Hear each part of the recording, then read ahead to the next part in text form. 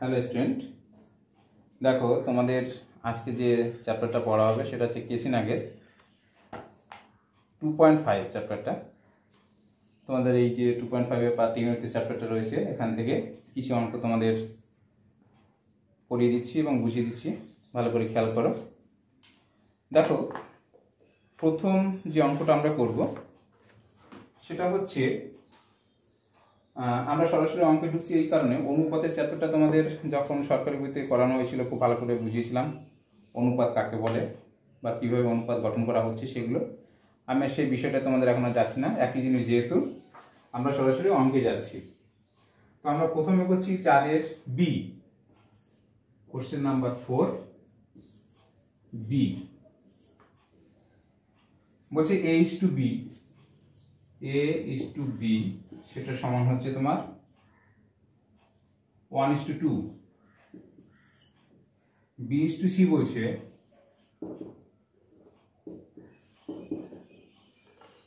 B is to C হচ্ছে three is to four আর C is to D বলছে five is to six C is to D সমান হচ্ছে five is to six তাই যদি হয়, তাহলে আমাকে বের করতে বলছে A is to B is to C is to D এটা সমান কত সেটা বের করতে বলছে। দেখো এই অনুপাতকে আমরা একটা ভাবে লেখা যায়, আগে বলে এসেছিলাম, অনুপাত সমান আমরা লেখা যায় ওয়ান বাই টু এটাকে লেখা যায় থ্রি বাই ফোর এটাকে লেখা যায় ফাইভ বাই সিক্স এই অঙ্কটা করার সময় আমরা দুটো ধাপ খেয়াল করব। এক হচ্ছে আমরা উপর দিক থেকে পরপর নিচের দিকে যাব নিচের দিকে এখানে প্রশ্নের উপরে আবার নিচ থেকে উপর দিকে যাব। কি উপর থেকে নিচে যাব আর নিচ থেকে উপরে যাব? আমরা প্রথমে দেখব, এখানে এই যে টুটা আছে, এই টুটা হচ্ছে বি এর মান। ওয়ানটা হচ্ছে এ এর মান। পরে যেটা আছে বি টু সি এই তিনটা হচ্ছে বি এর মান, চারটা হচ্ছে সি এর মান। তাহলে আমরা উভয় ক্ষেত্রে এই বি এর মানটাকে সমান করব। অর্থাৎ এই যে দুই আছে আর এখানে তিন আছে এই মানগুলোকে সমান করব। তো সমান যদি করতে চাই আমরা, তাহলে এটাকে যদি আমরা থ্রি দিয়ে গুণ করি, আর এটাকে যদি টু দিয়ে গুণ করি, তাহলে এখানে হচ্ছে তিন দুগুণি ছয়, এখানে হচ্ছে তিন দুগুণি ছয়। তা হরে যদি আমরা তিন দিয়ে গুণ করি, সঙ্গে সঙ্গে লবেও একই সংখ্যা দিয়ে গুণ করতে হবে, নাহলে অনুপাতের মান পরিবর্তন হয়ে যায়। ঠিক একই রকম ভাবে এখানে টু দিয়ে গুণ করেছি, তাহলে এখানেও কি করতে হবে? হরকে টু দিয়ে গুণ করতে হবে। বেশ ভালো। এবার হরকে সে গুণ করার পরে আমরা দেখতে পেলাম, এখানে সি এর মান চলে এসেছে চার দুগুণি আট। কিন্তু এখানে সি এর মান আছে পাঁচ। তাহলে এখানে আছে আট, এখানে আছে পাঁচ। আবার কি করব আমরা? এই দুটো ক্ষেত্রে সি এর মানটাকে সমান করব। অর্থাৎ এটা কিন্তু আমি আসছি তোমাদের দুটো কথা বললাম। প্রথমে আসব আমরা উপর থেকে নিচে। সেকেন্ড বাজে আমরা নিচ থেকে উপরে। তাহলে আমরা এটা যাচ্ছি এখন, আপাতত যেটা যাচ্ছি, উপর থেকে নিচে। তাহলে এটা হচ্ছে আট। এই আটকে যদি পাঁচ দিয়ে গুণ করি, তাহলে পাঁচ আটে চল্লিশ, এটাকে যদি আট দিয়ে গুণ করি, সেটা হয়ে যাচ্ছে পাঁচ আটে চল্লিশ। এখানে যখন আট দিয়ে গুণ করছি, সঙ্গে সঙ্গে হরকেও আমাকে আট দিয়ে গুণ করতে হবে। তাহলে এই মানটা সমান থাকবে। কারণ আমরা জানি অনুপাতের উভয় পদকে বা লব এবং হরকে যদি একই সংখ্যা দিয়ে গুণ করি বা ভাগ করি, তাহলে মানের কোনো পরিবর্তন হয় না। তাহলে এখানে কত দাঁড়াল দেখো? এখানে দাঁড়াল পাঁচ আটে চল্লিশ, এখানে ছয় আটে আটচল্লিশ। এখানে যখন এসছে, তখন নিচেরটা চলে আসছে কত? আচ্ছা এখানে দেখো, নিচেরটা যখন এখানে পাঁচ দিয়ে গুণ করেছি, সঙ্গে সঙ্গে তাহলে এখানে কি করতে হবে? এখানেও পাঁচ দিয়ে গুণ করতে হবে। এই হচ্ছে উপর দিকে যাচ্ছে উপরে থাকটা অর্থাৎ নিচে যখন পাঁচ দিয়ে গুণ করলাম, সঙ্গে সঙ্গে উপরটাকেও অর্থাৎ লবকেও আমাকে পাঁচ দিয়ে গুণ করতে হবে। এই পাঁচ দিয়ে যখনই গুণ করলাম, তখন এই যে বি এর ভ্যালুটা আগে সিক্স আর সিক্স আমরা সমান করেছিলাম, এই ভ্যালুটা চেঞ্জ হয়ে গেল। চেঞ্জ হয়ে কত হলো? তিন দুগুণি ছয় পাঁচ ছক তিরিশ হয়ে গেল। কিন্তু এখানে কত হয়ে বসে আছে? এখনও তিন দুগুণি ছয় হয়ে বসে আছে। তাহলে এখানে যদি ছয় হয়, তাহলে এটাকে তিরিশ করতে গেলে কি করতে হবে? আবার পাঁচ দিয়ে গুণ করলাম, পাঁচ ছক তিরিশ। এটাকে যদি পাঁচ দিয়ে গুণ করি, সঙ্গে সঙ্গে উপরটাকে কি করতে হবে? সমান রাখার জন্য বা একই রাখার জন্য উপরটাকেও পাঁচ দিয়ে গুণ করতে হবে। তাহলে কত আসছে দেখো? এখানে চার দুগুণি আট আট, পাঁচ, আটে চল্লিশ। এখানে কত হচ্ছে? পাঁচ দুগুণি দশ, তিন দশে তিরিশ। ঠিক একই রকম ভাবে এখানে তিন পাঁচে পনেরো পনেরো দুগুণি তিরিশ, এখানে তিন পাঁচে পনেরো। তাহলে একটা জিনিস খেয়াল করো, এখানে এই যে বি এর মান ছিল, এখানে বি এর মান সমান হলো, এখানে সি এর মান, এখানে সি এর মান সমান হলো। এই যে প্রথমে, আবার বলছি, প্রথমে আমরা কি করলাম, উপর দিক থেকে নিচের দিকে আসলাম। এখানে আসার পরে আমরা কি করলাম, পরে আবার যখন এখানে আমার সি এর ভ্যালু সমান হয়ে গেল ডিটা আলাদা হয়ে গেলে সি এর ভ্যালু সমান করার জন্য আবার আমরা উপর দিকে গেলাম, এই সি এর সঙ্গে মানটাকে সমান করার জন্য যে কোনো পাঁচ দিয়ে গুণ করেছি। যেই এই সি এর মান সমান হয়ে গেলে, উপরে বি এর মানটা অটোমেটিক্যালি চেঞ্জ হয়ে গেল তার আগেরটার সঙ্গে। সেই কারণে যেই এটা পাঁচ দিয়ে গুণ করলাম, সঙ্গে সঙ্গে এই সংখ্যাটাকেও আমাকে পাঁচ দিয়ে গুণ করতেছে। কারণ বি এর ভ্যালুটাকে এই ফার্স্ট লাইনে বি এর ভ্যালুটাকে একই রাখার জন্য। যেই ফার্স্ট লাইনে এই বি এর ভ্যালুটাকে একই রাখছি, সঙ্গে সঙ্গে এর ভ্যালুটা চেঞ্জ হয়ে যাচ্ছে। যেহেতু চেঞ্জ না হয়, সেই কারণে আমাকে কি করতে হচ্ছে, উপরে লবটাকে পাঁচ দিয়ে গুণ করতে হচ্ছে। তাহলে আমরা লিখতে পারি A is to B is to C is to D সমান লিখতে পারি। কি লেখা যায়? দেখো এ সমান বেরোলো কত? পনেরো। বি সমান বেরোলো তিরিশ। সি সমান বেরোলো চল্লিশ। আর ডি সমান বেরোলো আটচল্লিশ। এটা হচ্ছে অ্যান্সার পরের অঙ্কটা হচ্ছে পাঁচের দাগের অঙ্কটা। বলছে এ ইস টু বি সমান থ্রি ইস টু ফোর পাঁচের দাগের অঙ্কটা বলছে এ ইস টু বি সমান থ্রি ইস টু ফোর আর বি ইস টু সি সমান পাঁচ ইস টু ছয় ইস টু পাঁচ। বি টু সি সমান ছয় ইস টু পাঁচ। তাই যদি হয়, তাহলে এ ইস টু সি সমান কত? এ ইস টু সি সমান কত? সেটা বের করতে বলছে। দেখো, এটাকে লেখা যায়, আমরা এইভাবে লিখতে পারি, এ বাই বি ইজিকট হচ্ছে তিন বাই চার। আর এখান থেকে লিখতে পারি আমরা বি বাই সি সমান হচ্ছে ছয় বাই পাঁচ। এবার এটাকে গুণ করে দাও। A by B into B by C সমান হচ্ছে তিন বাই চার গুণ ছয় বাই পাঁচ। এখানে বিবি কেটে যায়। এইটা কাটলে পরে তিন এইটা কাটলে দুই। অর্থাৎ দুই দিয়ে কাটলাম আমরা। তাহলে উপর হচ্ছে কত? তিন তিনে নয়, পাঁচ দুগুণি দশ। অতএব এ বাই সি ইজিকল হচ্ছে নাইন বাই টেন অতএব এ ইস টু সি সমান নাইন ইস টু টেন এটা অ্যান্সার দেখো ছয় দাগের অঙ্কটা বলছে, দুটি সংখ্যার অনুপাত থ্রি টু ফোর তাদের গসাগু চার হলে সংখ্যা দুটি এবং তাদের লসাগু নির্ণয় করো। মানে সংখ্যা দুটি কত সেটা বের করতে বলছে এবং তাদের লসাগু কত সেটা বের করতে বলছে। তাহলে কি বলছে প্রথমে ছয় দাগের অঙ্ক? দুটি সংখ্যার দুটি সংখ্যার অনুপাত দুটি সংখ্যার অনুপাত বলছে থ্রি টু ফোর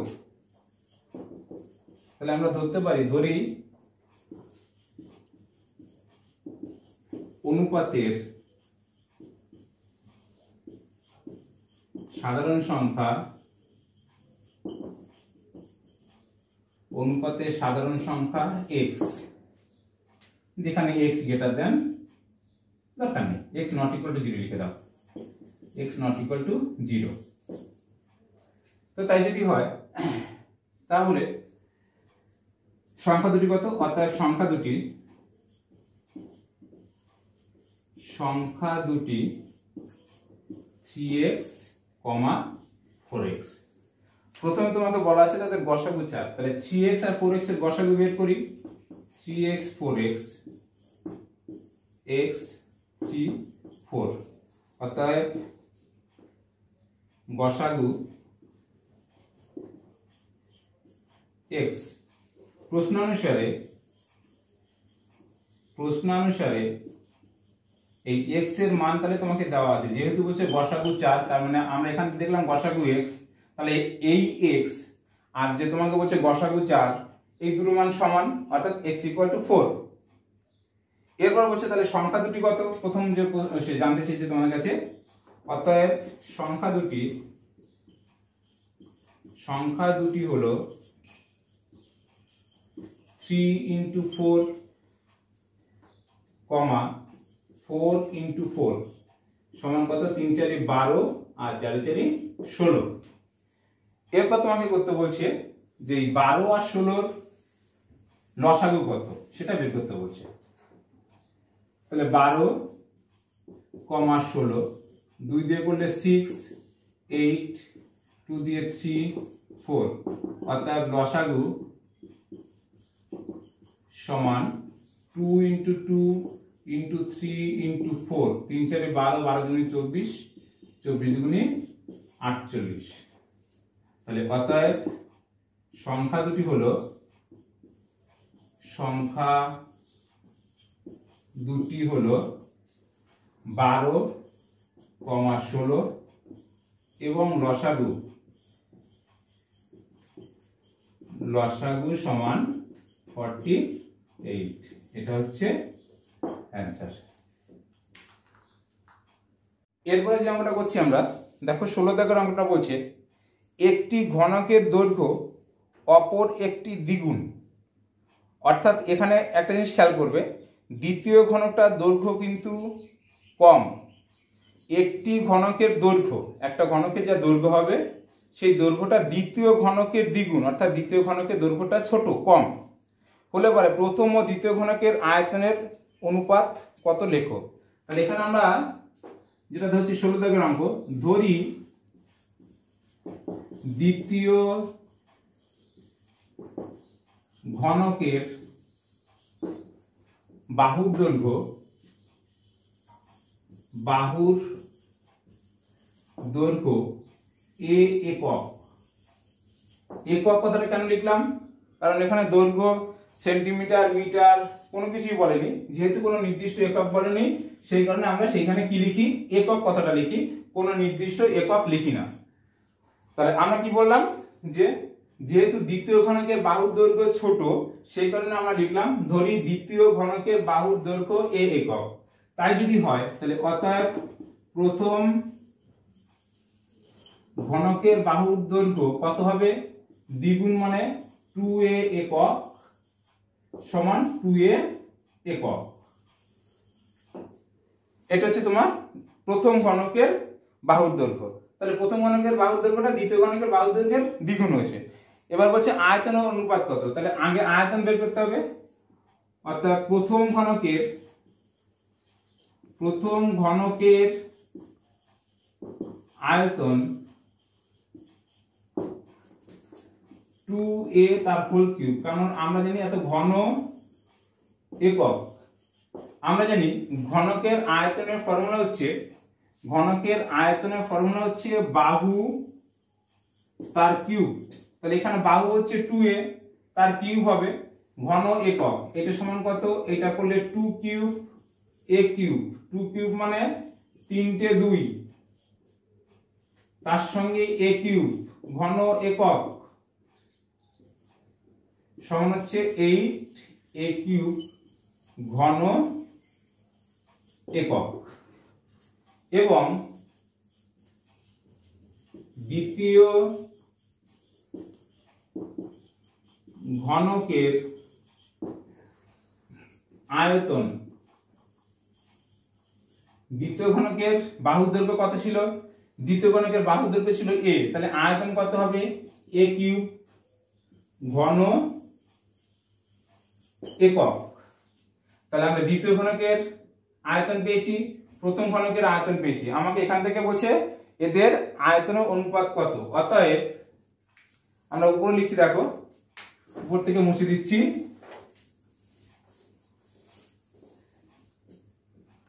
অতএব প্রথম ঘনক ও দ্বিতীয় ঘনকের আয়তনের, দ্বিতীয় ঘনকের আয়তনের অনুপাত। প্রথম ঘনকের আয়তন ছিল eight A cube is to দ্বিতীয় ঘনকের আয়তন ছিল এ কিউব সমান হচ্ছে এইট ইস টু ওয়ান পাশে লিখে দেবে, অনুপাতের উভয় পদকে সরি উভয় পদকে এ কিউব দ্বারা ভাগ করে পাই। অর্থাৎ এই যে হঠাৎ করে এ কিউবটা উঠে গিয়ে এইট ইস টু ওয়ান হলো, তাহলে এ কিউবগুলো কোথায় গেল? সেটা আমরা পাশে লিখে দিলাম। এটাকে বলে সাইড নোট কি? যদি এ কিউব দিয়ে জাস্ট উদাহরণ তোমরা বোঝো এইট এ কিউব তাকে যদি এ কিউব দিয়ে ভাগ করা হয়, তাহলে এই এ কিউব এ কিউব কেটে যায়। ঠিক পরেরটা আছে A cube by A cube যদি ভাগ করা হয়, তাহলে এটা কেটে যায়। তাহলে থাকে কত? এখানে এখানে ওয়ান অর্থাৎ এর মাঝে যদি আমরা অনুপাত চিহ্নটা দিই এইট ইস টু ওয়ান এটা জাস্ট বোঝার জন্য তোমাদের বললাম। তাহলে অনুপাতের উভয় যদি এ কিউব দ্বারা ভাগ ভাগ করে পাই, তাহলে অ্যান্সার হচ্ছে এইট ইস টু ওয়ান এটা হচ্ছে তোমাদের অ্যান্সার দেখো, তারপরে যে অঙ্কটা আছে সেটা বলছে একটি কুকুর একটি শশককে ধরার জন্য ছুটলো। একটি কুকুর, একটি শশককে শশক মানে কি? শশক মানে হচ্ছে খরগোশ। যাই হোক, একটি কুকুর একটি শশককে ধরার জন্য ছুটলো। কুকুরটি যতক্ষণে পাঁচবার লাফায়, অর্থাৎ কুকুরটা লাফ দিয়ে দিয়ে এগিয়ে যাচ্ছে, একটা লাফ, দুটো লাফ, তিনটে লাফ, চারটে লাফ, পাঁচটা লাফ। এই যে পাঁচটা লাফ দিচ্ছে, শশকটি ততক্ষণে ছয়বার লাফায়, অর্থাৎ ওই যে টাইমটা কুকুরটা পাঁচ পাঁচবার লাফাতে যে টাইমটা নেয়, যদি কুকুরটা পাঁচ পাঁচবার লাফাতে আমরা ধরে নিই দশ ধরো তিরিশ সেকেন্ড সময় নিচ্ছে। ঠিক একই সময় তাহলে শশকটা যে ছয়বার লাফাচ্ছে, সেও এই একই সময়, অর্থাৎ ত্রিশ সেকেন্ডে লাফাচ্ছে। টাইমটা সবসময় খেয়াল রাখবে। এখানে যেহেতু টাইম উল্লেখ নেই, আমাদের অঙ্কের ক্ষেত্রে মাথায় রাখতে হবে টাইমটা একই সময়ের ব্যাপার বলছে, একই সময় লাফাচ্ছে, ততক্ষণে মানে একই সময়। কিন্তু কুকুরের তিন লাফ, শশকের পাঁচ লাফের সমান। অর্থাৎ কুকুরটা তিনটে লাফ দিয়ে, যদি আমরা মনে করি কুকুরটা একটা লাফ এখানে গেল, দুটো লাফে এখানে গেল, তৃতীয় লাফে এখানে গেল, শশকটা শশকটা বলছে কতগুলো লাভ দিচ্ছে তখন? পাঁচটা লাভের সমান। অর্থাৎ শশকটা পাঁচটা লাভ দিচ্ছে। একটা লাভ দুটো লাভ তিনটে লাভ চারটে লাভ পাঁচটা লাভ অর্থাৎ এই একই জায়গায় পৌঁছচ্ছে এই তিন লাফে যতটা পথ যাচ্ছে এই পাঁচ লাফে ঠিক ততটা পথ যাচ্ছে। তাই যদি হয় তাহলে এই কুকুরের এবং শশকের গতিবেগের অনুপাত কত সেটা বের করতে বলছে। তাহলে এই যে অংশটা আমরা বুঝলাম, এটা সতেরো দাগের অঙ্ক। এই যে কথাটা লিখলাম, তাহলে আমরা এখান থেকে কি লিখতে পারি? এখান থেকে লিখতে পারি, কুকুরের তিন লাফে অতিক্রান্ত পথ অতিক্রান্ত পথ এটা মুছে দিচ্ছি, সমান শশকের পাঁচ লাফের অতিক্রান্ত পথ। পাঁচ লাফে অতিক্রান্ত পথ। এবার কি লিখতে পারি? অর্থাৎ কুকুরের এক লাফের অতিক্রান্ত পথ সমান শশকের পাঁচ বাই তিন লাফে অতিক্রান্ত পথ। অর্থাৎ কুকুরটা একবার লাফিয়ে যতটা দূরত্ব যাবে শশকটা পাঁচ বাই তিন তিনবার লাফিয়ে ততটা দূরত্ব যাবে। এবার বলছে, কুকুরটি যতক্ষণে পাঁচবার লাফায়, তাহলে অর্থাৎ কুকুরের পাঁচ লাফে অতিক্রান্ত পথ সমান শশকের পাঁচ গুণ পাঁচ বাই তিন লাফে অতিক্রান্ত পথ সমান হচ্ছে পঁচিশ বাই তিন লাফে সরি লাফে অতিক্রান্ত পথ। তাহলে দেখো, কি বলছে? যে বলছে, কুকুরটি যতক্ষণে পাঁচবার লাফায় শশকটি ততক্ষণে ছয়বার লাফায়। অর্থাৎ, কুকুরটি পাঁচবার লাফিয়ে যে দূরত্ব যাবে, অর্থাৎ এই যে দূরত্বটা যাচ্ছে শশক কিন্তু ছয়বার লাফিয়েও সেই দূরত্বটাই যাবে। কতটা দূরত্ব আমরা জানি না। অর্থাৎ এই যে দূরত্বটা অতিক্রম করছে, এটা কিন্তু একই সময়ের ব্যাপার। আবার রিপিট করছি, দেখো, কুকুরটি যতক্ষণে পাঁচবার লাফায়, কুকুরটি এই পাঁচবার লাফায়, লাফিয়ে যে পথটা যাচ্ছে শশকটি কিন্তু এতবার লাফিয়ে সেই একই পথ যাচ্ছে। তাহলে কুকুরের পাঁচ লাফ সমান শশকের এই পথটার অতিক্রান্ত সমান আবার বলছে, কুকুর যত সময় পাঁচবার লাফায় শশক তত সময় ছয়বার লাফায়। এই কথাটা তোমাকে বলে দিয়েছে, এই যে যত সময়, এই সময়টা কিন্তু উভয় ক্ষেত্রে একই। এটা উভয় ক্ষেত্রে একই। তোমাদের বোঝার জন্য বললাম, তাহলে এই যে অতিক্রান্ত পথটা, এই যে তোমার দুটো ক্ষেত্রে আমরা পেলাম, এই দুটো কি হবে? এই দুটোর অনুপাত বের করলে যেহেতু একই সময়ের ব্যাপার, একই সময় লাভ আছে তাহলে এই যে অতিক্রান্ত পথটা, সবার এটা এত লাফে যে পথ যাচ্ছে সেটা, আর এই সবার লাফিয়ে যে পথটা যাচ্ছে সেইটা, এই যে অতিক্রান্ত দূরত্বটা, এইটা কিন্তু ওদের উভয়ের গতিবেগের অনুপাত হবে। কারণ যেহেতু এখানে সময়টা একই, ওরা দুজনেই একই সময় লাফিয়েছে। তাহলে আমরা কি লিখতে পারি? লিখতে পারি, অতএব কুকুরের, কুকুর ও শশকের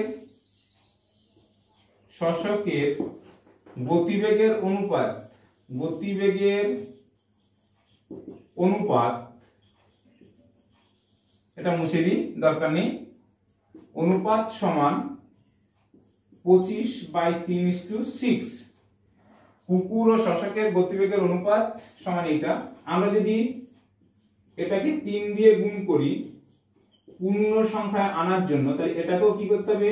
তিন দিয়ে গুণ করতে হবে। এই তিন তিন কেটে কি এখানে হয়? পঁচিশ। আর এখানে হচ্ছে আঠেরো। এটাই হচ্ছে ওদের গতিবেগের অনুপাত। এরপর তোমাদের যে অঙ্কটা করা হচ্ছে কুড়ি দাগের অঙ্কটা, সেটি বলছে দুটি শহরের মধ্যে দূরত্ব পাঁচশো পঞ্চাশ কিলোমিটারকে ম্যাপে ম্যাপে এগারো সেন্টিমিটার দীর্ঘ রেখা অংশ দিয়ে সাজানো হলো। তার মানে দুটো শহর, এখানে একটা শহর আছে এখানে এত দূরে একটা শহর আছে। এর মাঝে দূরত্বটা কত বলছে? এর মাঝে দূরত্ব, দূরত্বটা বলছে পাঁচশো পঞ্চাশ কিলোমিটার। কিন্তু এই পাঁচশো পঞ্চাশ কিলোমিটারকে মাত্র এগারো সেন্টিমিটার একটা স্কেল দিয়ে তোমাকে সেটাকে বুঝিয়ে দিছে যে এই এগারো সেন্টিমিটার দ্বারা তোমার এটাকে বোঝানো হচ্ছে। তো তাই যদি হয়, তাহলে এই এক সেন্টিমিটার সমান, এক সেন্টিমিটার সমান, আমরা যদি এটুকু ধরি এক সেন্টিমিটার এই এক সেন্টিমিটার সমান এই স্কেলের কতটুকু মানকে ধরা হয়েছে, কতটুকু মানকে ধরা হয়েছে, সেইটাকে প্রকাশ করতে বলছে বা সেটাকে বের করতে বলছে। যেটাকে বলছে কি? যে ম্যাপের সাংখ্য স্কেল কত সেটা বের করো। তাহলে আবার বলছি যে দুটো শহরের কথা বলছে, যে দুটো শহরের মধ্যে দূরত্ব হচ্ছে পাঁচশো পঞ্চাশ কিলোমিটার। এই পাঁচশো পঞ্চাশ কিলোমিটারকে তোমার এগারো সেন্টিমিটার একটা স্কেল অর্থাৎ ছোট্ট একটা স্কেল দিয়ে সেটাকে প্রকাশ করেছে। যে না, এইটুকু দিয়ে আমরা পুরো জায়গাটাকে বোঝাচ্ছি। তো সেটা বোঝালে পরে তাহলে এখানে এক সেন্টিমিটার সমান, অর্থাৎ ভুল বললাম, এই ম্যাপের যে পাঁচশো পঞ্চাশ, এই দূরত্বের যে মেইন দূরত্বের পাঁচশো পঞ্চাশ কিলোমিটার, সেই পাঁচশো পঞ্চাশ কিলোমিটারের এক সেন্টিমিটারকে এই যে স্কেল দিয়ে প্রকাশ করেছে, এই স্কেলের কতটুকু মান সমান এর এক সেন্টিমিটারকে বিবেচনা করা হয়েছে। আবার বলছি, এর এক সেন্টিমিটারকে এই মূল স্কেলে এর এগারো সেন্টিমিটার স্কেলের কতটুকু অংশকে ধরে সেটাকে প্রকাশ করা হয়েছে, সেইটা তোমাকে বের করতে বলছে, যেটাকে বলছে ম্যাপের সাংখ্য স্কেল কত। তো এই অঙ্ক করার সময় আমরা একটুখানি তোমাদের আগে যে অঙ্ক করা সেই সরকারি বইতে, সেই অঙ্ক সম্পর্কে আমরা একটু যদি আলোচনা করি তাহলে বুঝতে পারবে। যে তোমাদের দ্বিস্তম্ভ লেখ বোঝানো হয়েছিল। দ্বিস্তম্ভ লেখাতে কি ছিল? দুটো স্তম্ভ ছিল। তার আগে যদি আমরা যাই ক্লাস সিক্সে পড়েছি শুধু স্তম্ভ লেখচিত্র সেটা কি ছিল? তোমাদের ক্লাসে পঞ্চাশ জন স্টুডেন্ট আছে, তাদের কোনো একটা সাবজেক্টের বিভিন্ন নম্বর দেওয়া আছে, সেই নম্বরটাকে বলছে তোমরা তাই দিয়ে স্তম্ভ চিত্র প্রকাশ করো। তা তখন তোমরা কি করেছিলে? এরকম সে দাগ টেনে এরকম একটা বলেছিলে, এখানে হয়তো কেউ পঞ্চাশ নম্বর পেয়েছে এই কজন, কেউ তিরিশ নম্বর পেয়েছে এই কজন। অর্থাৎ দেখো, এই যে এইটুকু পঞ্চাশ জন পেয়েছে এখানে, হয়তো কথা কথা দেখো চল্লিশ জন স্টুডেন্ট আছে বা তিরিশ জন স্টুডেন্ট আছে, যে যারা পঞ্চাশ নম্বর পেয়েছে। তারপরে দেখো কথার কথা এটা আছে দশজন স্টুডেন্ট তারপরে আছে পাঁচজন স্টুডেন্ট বেশি পেয়েছে। অর্থাৎ এই যে মানগুলো দিয়ে আমরা স্তম্ভগুলোকে চিহ্নিত করছি, এক একটা অংশকে আমরা কল্পনা করে, ধরে নিয়ে করছি কিন্তু। অর্থাৎ পারফেক্ট আমরা কিন্তু এখানে বলছি না, ও এখানেই পঞ্চাশ জন আছে। আমরা সেই পঞ্চাশ জনকে ছোট্ট একটা জায়গায়, ছোট্ট একটা সংকেতের যা সাহায্যে বলতে পারো, সংকেত বলাটা ভুল হবে, ছোট্ট একটা জায়গায় দিয়ে আমরা সেটাকে চিহ্নিত করে টোটাল বিষয়টাকে প্রকাশ করেছি। ঠিক একই রকম ভাবে যদি আমরা আরেকটু উদাহরণে যাই টোটাল পৃথিবীটা যে ম্যাপ আমরা তোমরা ভূগোলে পড়েছো, ভূগোলকটা, সেই ভূগোলকে দেখো, ভারতবর্ষকে শুধুমাত্র হয়তো এতটুকু জায়গা দিয়ে চিহ্নিত করা হয়েছে। তা ভারতবর্ষ তো এত বড় একটা জায়গা। সেই ম্যাপে ওই অত বড় জায়গাটাকে ছোট্ট একটা জায়গা দিয়ে চিহ্নিত করা হয়েছে। তার মানে ওটাকে বোঝাচ্ছে যে এটাই হচ্ছে তোমাদের ভারতবর্ষের অবস্থান। কারণ আমরা তো পৃথিবীর মতন অতটা একটা এসে গোলকে তার সেখানে ভারতবর্ষ যতটা আয়তন ততটা দেখাতে পারবে না। অর্থাৎ তাকে সংক্ষেপে প্রকাশ করা হয়েছে। এই যে সংক্ষেপে প্রকাশ করা হচ্ছে বিভিন্ন ক্ষেত্রে, এইগুলোকেই কিন্তু আমরা বলছি তোমার বিভিন্ন স্কেল তৈরি করা। তো যাই হোক, এখানে তোমাকে যেটা বের করতে বলছে তাহলে, যে মূল স্কেল মূল যে দূরত্বটা পাঁচশো পঞ্চাশ কিলোমিটার, এই পাঁচশো পঞ্চাশ কিলোমিটারের এক সেন্টিমিটারকে, এই যে এগারো সেন্টিমিটার দিয়ে প্রকাশ করেছে তার কতটুকু সমান ধরা হয়েছে সেটা বের করতে হবে। তো আমরা কি করতে পারি? এটা হচ্ছে তোমাদের কুড়ি দাগের অঙ্ক। আমরা লিখতে পারি পাঁচশো পঞ্চাশ কিলোমিটার সমান হচ্ছে পাঁচশো পঞ্চাশ চার, পাঁচ চার, পাঁচ, এত সেন্টিমিটার। সমান কি লিখতে পারি? এত সেন্টিমিটার। তাহলে এত সেন্টিমিটারকে এত সেন্টিমিটারকে সেন্টিমিটারকে প্রকাশ করা হচ্ছে, প্রকাশ করা হয়েছে এগারো সেন্টিমিটার দ্বারা। সেন্টিমিটার দ্বারা। অতএব এক সেন্টিমিটারকে প্রকাশ করা হয়েছে এগারো বাই